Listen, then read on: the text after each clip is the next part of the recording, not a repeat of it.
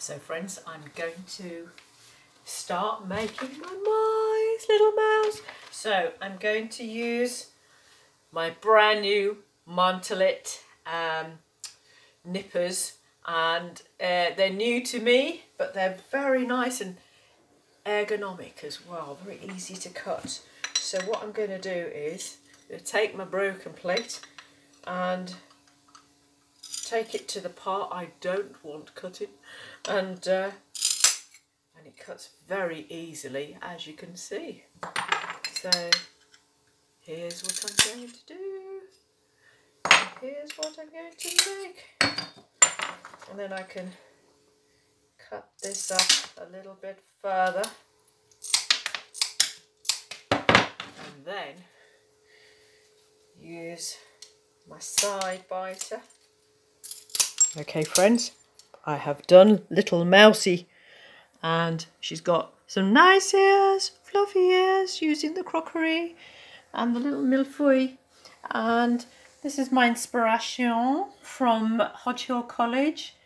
And as you know I cut up the ears using the Montolit Super Gold Power Mosaic Cutter.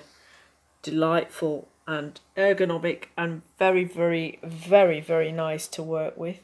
So I'm going to be using that more often. So this afternoon I'm going to do a little bit more on the old mouse-esqueness and make some more of them for my wall mosaic outside for the garden.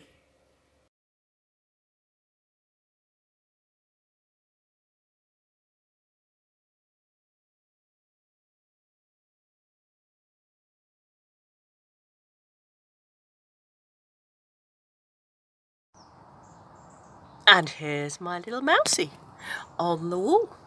And accompanied by little mousie on the tap, little, uh, she's so cute. And then little mousie behind the drain here. But there's going to be changes afoot today because this is going to all change today because that drain pipe going down is going to come away and go sideways going to go along, along here and down here, you see, towards the water butt. That might link to another water butt, no doubt. So this is what the wall mosaic looks like in my garden. And here's a garden. This is the mosaic I did a few years back. More than a few years actually. New fence panels, new flowers.